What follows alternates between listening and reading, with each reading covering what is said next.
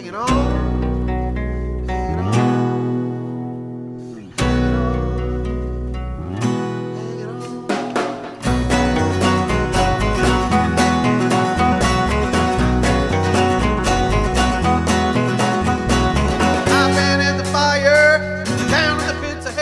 Tony, how long you been working here? Uh, I've worked for Alex for off and on nine years.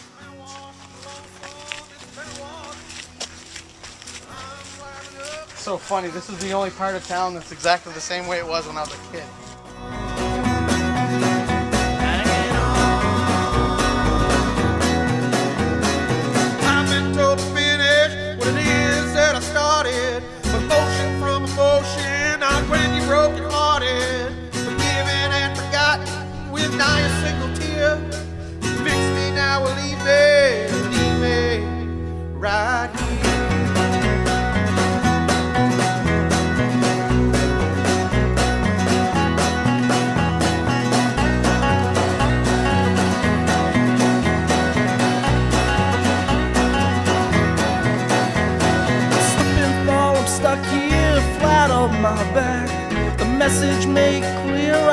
Under attack.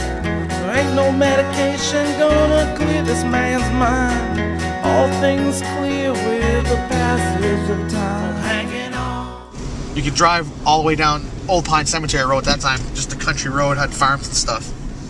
And uh, deer running everywhere. Now, just car after car.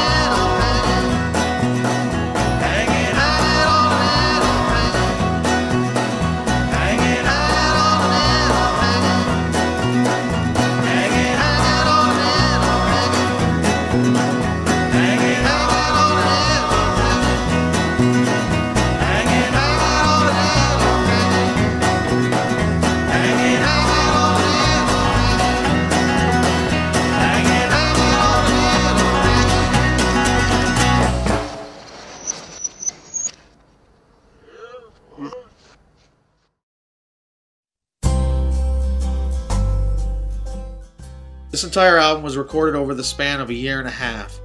What started as writing just songs in a loft apartment in Lebanon, New Hampshire, morphed into recording an entire album with an eye for release.